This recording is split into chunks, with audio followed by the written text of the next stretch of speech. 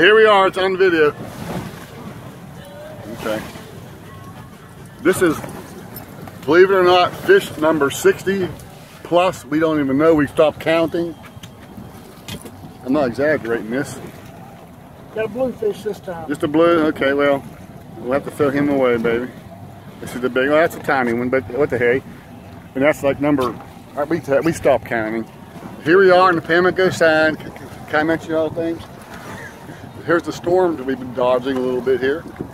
This is the, this is fishing extraordinaire David Parker. And here's Captain George. He is the king of the fishermen. He's the one who teaches us how to do all this stuff. Yeah. and we are on George's boat today in the Pamlico Sound. And we have caught, well, we, we've stopped counting, probably 70. Now they weren't all keepers, but we got a cooler full of good keepers. Very nice. And just having one of the most beautiful days you could have fishing on a boat. And this boat is awesome. It had a, a runway here that we, we cut the fish and bring the lines up this far in here.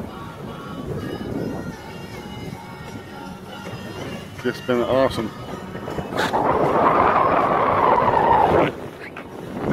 They're about 20 miles at Ocracoke Island. This direction is Swan Quarter. And that direction is Pungo Creek where we live in the bad storm, so we're not heading back quite yet. Okay. Time to say goodbye.